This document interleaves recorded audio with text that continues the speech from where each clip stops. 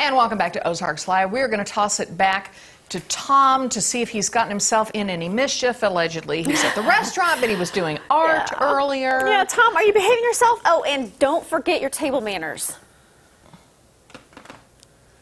They're, they're, oh, pfft, they were forgotten years ago. You, you, you, you remember the, the movie about Austin Powers and the one bad guy in, the, in there who kept saying, Get in my belly?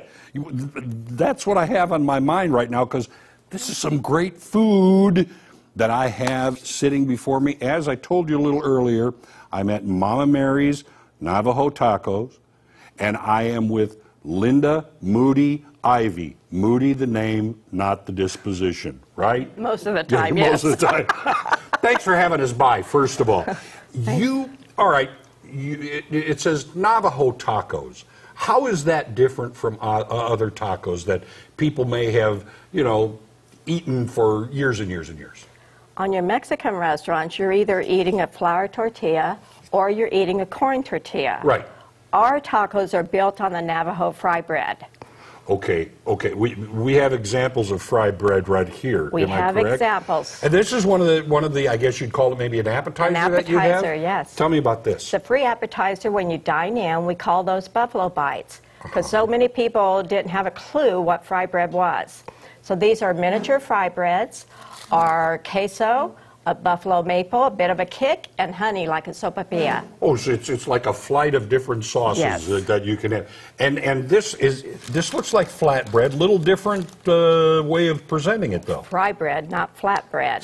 There's a difference yeah, here. Yeah, yeah. This we call our sticks. Uh-huh. Children love it because it's so much like French fries. And then you can dip it in our white queso sauce. And it's really easy to pick up with your fingers and just kind of dip it in here and. This is really good. This is really good stuff. And this is the basis for your Navajo tacos. Yes. Let's look at this right here because this is this is a whole meal. I'd I'd be hard pressed to say, give me two of these.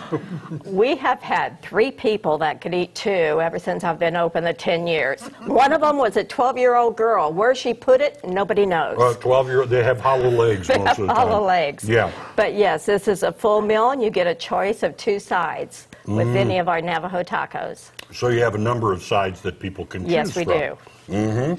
Now, you know, we're in Willard right now, and is it on Jackson? Is is that the, the street that you kind of take off yes, of it's on. 160? Yes, it's Jackson Street.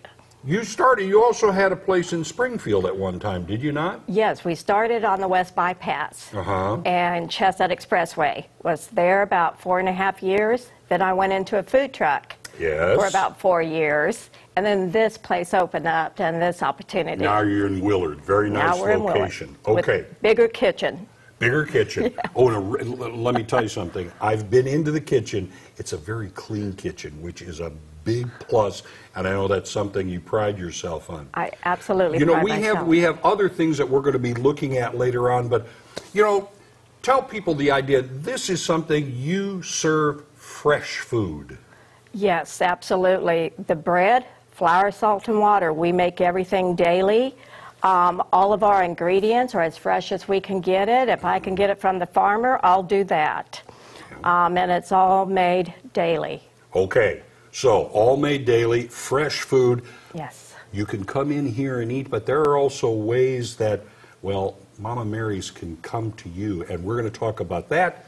Maybe some desserts, things like that, that you can find here at Momma Mary's. So we'll be back here in just a little bit, and I have to finish off this piece of fry bread because it really is good. I need to try that. I do not blame you, Tom. That looks. Amazing. I knew it was something about the bread, and it's called fry bread. Fry That's bread. what it is. Interesting. Oh man, that All right, good. well, coming up, they are all about helping you hear better. Yes, Springfield Hearing Center is coming up next, so don't go away.